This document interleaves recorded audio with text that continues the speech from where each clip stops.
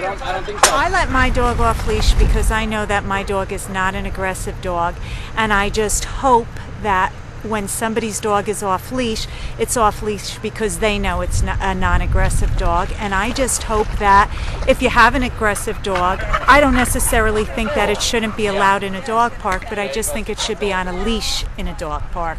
And I just think that dogs that are not on a leash should be a non aggressive dog. Yeah, a lot of times the owners have said, well, this is what dogs do, but okay, but then keep your dog on a leash. So usually what I do is I just confront the owner, you know, and try to ask them, why would you do that? You know, why would you risk that? Injuring another dog, injuring a person. That's really all I do. And walk away, you know, and then take my dog into another area of the dog park. That's what I do.